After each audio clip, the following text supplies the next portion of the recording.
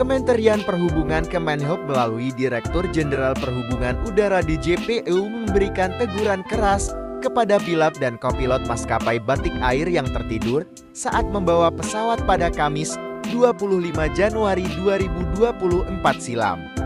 Terkait insiden tertidurnya pilot dan kopilot pesawat Batik Air secara bersamaan, kami dari Kementerian Perhubungan melalui Direktorat Jenderal Perhubungan Udara telah memberikan teguran keras kepada maskapai Batik Air.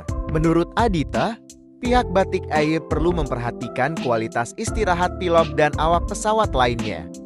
Apalagi, memperhatikan hal-hal yang dapat memengaruhi kewaspadaan dalam penerbangan. Kemenhub menyampaikan bahwa maskapai perlu memperhatikan waktu dan kualitas istirahat pilot dan awak pesawat lainnya yang dapat memengaruhi kewaspadaan dalam penerbangan.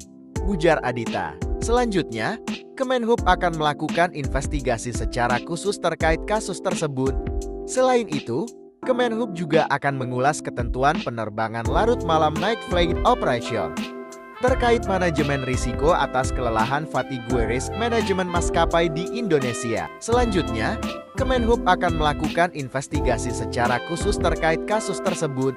Selain itu, Kemenhub juga akan mengulas ketentuan penerbangan larut malam night flight operation terkait manajemen risiko atas kelelahan fatigue risk manajemen maskapai di Indonesia.